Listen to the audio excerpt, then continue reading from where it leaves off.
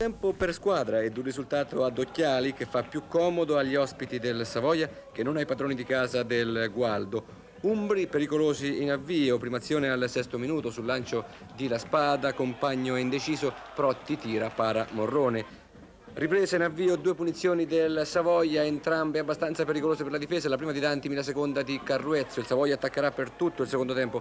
Al quarto d'ora va via Carruezzo sulla sinistra, mette in mezzo un bel pallone, all'appuntamento arriva Marasco, il suo piatto è parato molto bene da Nuzzo, poi Carannante ci prova ancora ma la palla finisce alta. Al sedicesimo è Dantimi a piazzarsi una bella palla sul sinistro, buono anche il tiro, bella la risposta di Nuzzo. Al ventiquattresimo c'è una punizione bomba calciata da Carruezzo e deviata deviata in angolo da Nuzzo. Al 38 la punizione invece per il Gualdo, Protti e la palla finisce alta così la partita si chiude sullo 0